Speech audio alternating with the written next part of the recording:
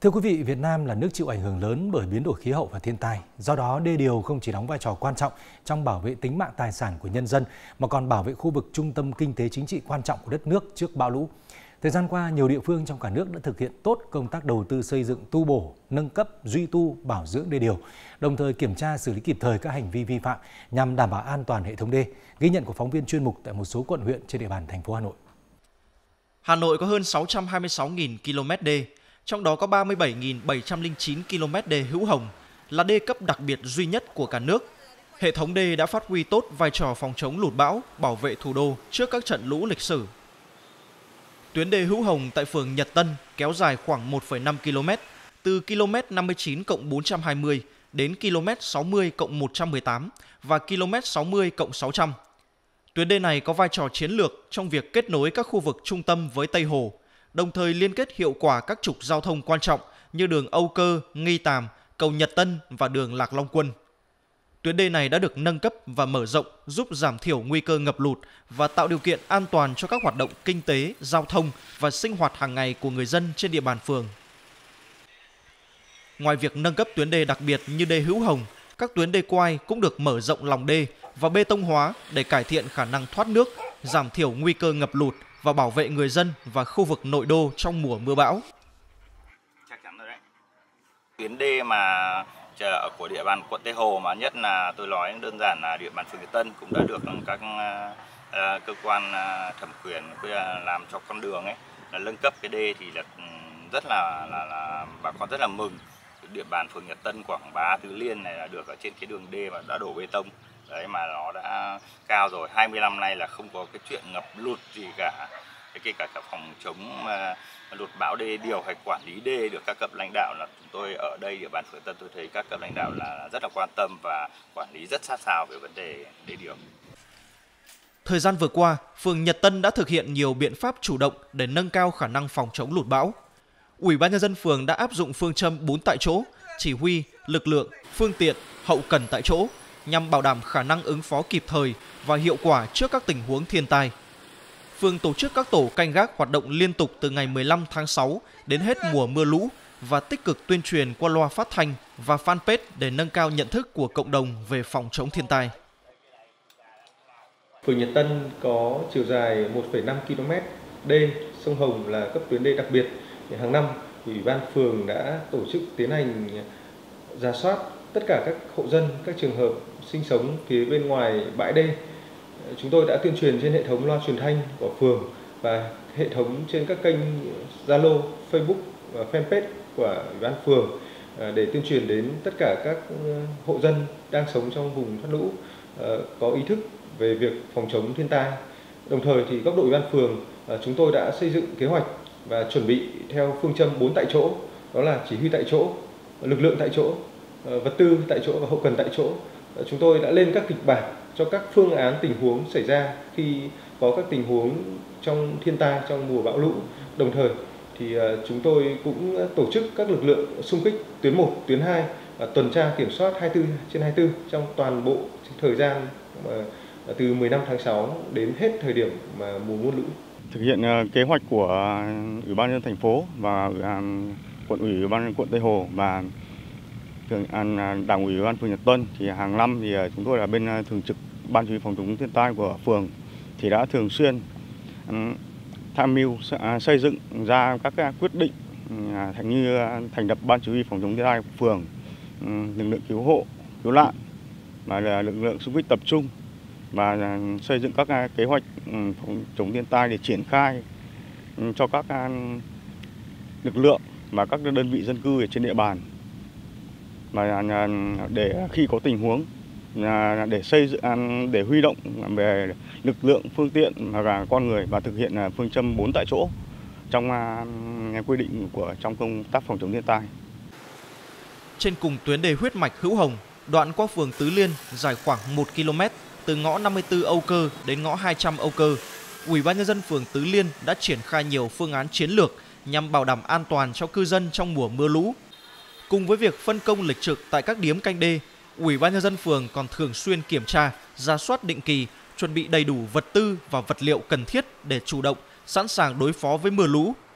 phường cũng tích cực tới từng hộ dân tuyên truyền để người dân canh tác khu vực ngoài bãi sông Hồng, đảm bảo hành lang thoát lũ, chấp hành đúng quy định trong pháp lệnh đê điều. Để đảm bảo an toàn mưa lũ ờ, phòng chống thiên tai trong mùa mưa lũ năm 2024, Ủy ban phường cũng đã xây dựng các kế hoạch Ờ, về công tác phòng chống thiên tai và xây dựng các cái phương án để khi xảy ra lũ lụt trên bàn phường, Ủy ban phường cũng có những cái phương án để cho bà con nhân dân ờ, di chuyển vào những chỗ để đảm bảo an toàn ờ, về người và tài sản cho bà con nhân dân trên bàn phường. Và cũng xây dựng các cái lịch trực của các điếm canh đê trên bàn phường và cũng phân công lịch trực là kiểm tra tuần kiểm tra canh kiểm tra ngày và đêm à, khi ở mức báo động 3 thì cũng là lịch ờ, ủy ban phường là cũng thường xuyên có 18 đồng chí là kiểm tra thường xuyên để có những cái gì để ứng phó kịp thời với cả công tác phòng chống thiên tai của đoàn phường. Trước năm 2008 thì vẫn là tuyến đê bối này rất là nhỏ bé. Nhưng mà từ năm 2008 đến nay là được ờ, quan tâm của các cấp thì được lâm cấp lên thì thành con đường bê tông để đảm bảo về trong phòng chống lụt bão này, về giao thương buôn bán này, về giao thương thương mại cho nhân dân thì từ khi mà con đê này được à, làm nên thì đời sống nhân dân và đời sống sản xuất nó cũng nâng cao rất là nhiều. Các tuyến đê bối, đê quai dài 1,5 km tại phường Tứ Liên được cải tạo từ năm 2018 tới năm 2021 được cải tạo lại. Hiện đã được bê tông hóa và nâng cao mặt đê nhằm đảm bảo khả năng chống lũ đạt mức báo động số 3 của sông Hồng. Đây cũng là tuyến đê huyết mạch để người dân trên địa bàn thành phố có thể tham gia giao thông một cách thuận lợi và giao thương với các huyện và tỉnh thành lân cận. Nhờ những con đê này thì tất cả nhiều năm nay khu vực vùng trong cũng không bị lụt lội gì cả. Và các cái công tác phòng chống thì nói chung là ở đây là mùa nào cũng thế thôi. Chủ động, chính quyền là quan tâm tuyến đê bối này thì được thành phố ờ, nâng cấp cải tạo từ năm 2008. Đối với con đường huyết mạch này, hiện nay đối với ba phường có cây cảnh Quảng An, Từ Liên, Nhật Tân. Con đường này rất quan trọng đối với cái vùng cây cảnh này. Thì từ năm ngoái là con đường này được ờ, cải tạo đẹp hơn, mở rộng hơn và tất cả các cái tuyến đường trong Âu Cơ đang thi công thì hầu hết phải đi dồn ra ngoài này. Nó cũng là một cái con đường giải tỏa cho giao thông không ùn tắc ở phía trong mà cũng giúp cho các đơn vị thi công vừa tuyến ờ, Âu Cơ kéo dài là thuận tiện trong giao thông ờ, đối với để vận chuyển cây cối trong cái dịp Tết ấy thì con đường này là một con đường giúp cho nông dân tiêu thụ sản phẩm mạnh nhất bởi vì các tỉnh về tiêu thụ thì hầu hết là dùng con đường này. Hệ thống đê điều tại Hà Nội đã khẳng định vai trò thiết yếu không chỉ trong việc bảo vệ thành phố trước thiên tai mà còn trong việc thúc đẩy phát triển kinh tế và nâng cao chất lượng đời sống cho người dân. Việc nâng cấp và bê tông hóa các tuyến đê không chỉ tạo ra một lớp bảo vệ vững chắc mà còn góp phần cải thiện hạ tầng giao thông, thúc đẩy giao thương và phát triển kinh tế sự phối hợp giữa chính quyền và người dân trong công tác quản lý và bảo trì hệ thống đê điều sẽ tiếp tục là yếu tố quan trọng để bảo đảm an toàn cho thủ đô trong tương lai.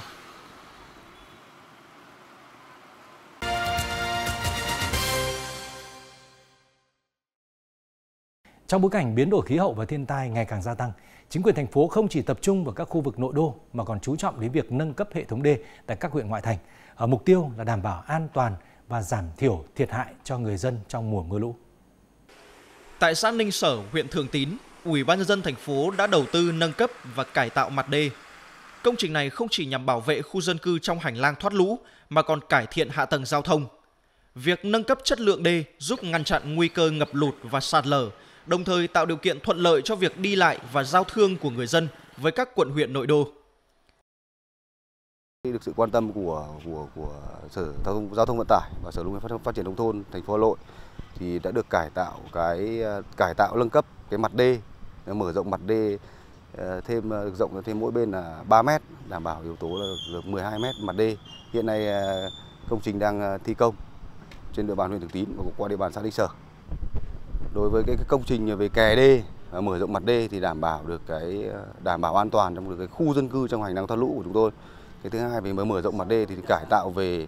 về về về về về, về chất lượng đê hai là về về về về, về công tác về giao thông vận tải được uh, lưu thông hơn và thuận tiện hơn cho bà con trên địa bàn cũng như là cái việc giao thông liên kết vùng giữa linh sở và các vùng khác trên địa bàn thành phố. Chính quyền địa phương cũng đặc biệt chú trọng đến việc quản lý các bến bãi trên địa bàn để không làm ảnh hưởng đến hành lang thoát lũ nếu nước dâng cao. Các bến bãi đều tuân thủ theo quy định không để vật liệu cao quá 2 mét, tránh gây cản trở dòng chảy của nước lũ. Biện pháp mà để phòng chống về ờ, mùa mưa bão này thì ờ, chúng tôi là có uh, gom gom gọn hết tất cả những cái nguyên vật liệu xung quanh bãi để cho tránh ảnh hưởng đến cái vùng thoát lũ nếu có ừ, mùa nước nó nó có dâng cao. Thì về thứ hai nó là cũng không để quá cao 2 mét theo chủ trương của nhà nước thì ờ, cũng đã phổ biến và chúng tôi cũng đã thực hiện theo. Thế và tất cả những cái cái phương tiện mà vận chuyển thì cũng có ờ, bắt buộc phải hạ tải, giảm giảm trọng tải, chở đúng theo ờ, quy định và có che chắn để đảm bảo cái môi trường. Theo Cục Quản lý Đê điều và Phòng chống thiên tai, đến nay nước ta đã xây dựng hệ thống đê điều có quy mô rất lớn với khoảng 9.708 km đê, trong đó 2.776 km đê từ cấp 3 đến cấp đặc biệt, trên 1.100 km kè bảo vệ đê, trên 1.500 cống dưới đê, trên 600 kho, bãi vật tư dự phòng phòng chống lụt bão, trên 1.400 điếm canh đê. Tuy nhiên, do hệ thống đê lớn hình thành từ lâu đời, dưới tác động của mưa, lũ, bão nên nhiều đoạn bị hư hỏng, xuống cấp, khó bảo đảm an toàn khi phải chống chọi với lũ, bão lớn. Vậy nên, việc đầu tư xây dựng, tu bổ, nâng cấp, duy tu, bảo dưỡng đê điều và duy trì thường xuyên công tác kiểm tra, quản lý, bảo đảm an toàn đê điều là yêu cầu cấp thiết đặt ra hiện nay, nhất là trong bối cảnh thiên tai ngày càng cực đoan, khó lường. Chương trình của chúng tôi đến đây kết thúc. Cảm ơn quý vị đã quan tâm theo dõi.